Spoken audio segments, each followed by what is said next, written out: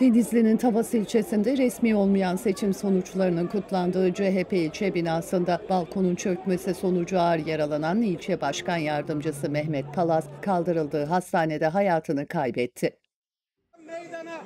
2024 yılı mahalli idareler genel seçimlerinin kesin olmayan sonuçlarına göre Denizli'nin Tabas ilçesinde CHP belediye başkan adayı Kadir Tatık yarışı önde tamamladı. Resmi olmayan sonuçların belli olmaya başlamasının ardından birçok partili seçim zaferini kutlamak için Yeni Mahalle Karaoğlanoğlu Caddesi'nde bulunan parti binası önünde toplandı.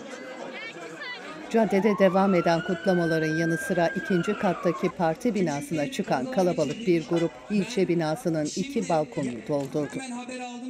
Kutlamalar devam ederken ağırlığı daha fazla kaldıramayan balkonlardan birisi üzerindekilerle birlikte çöktü.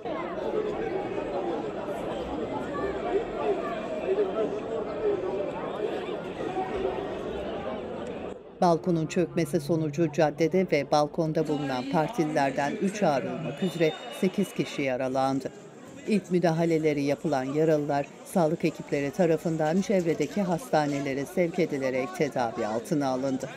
Yaralılardan başına darbe alan ve hayati tehlikesi bulunan CHP ilçe başkan yardımcısı Mehmet Palas, Tavas Devlet Hastanesi'nde yapılan ilk tedavisinin ardından Pamukkale Üniversitesi Hastanesi'ne sevk edildi.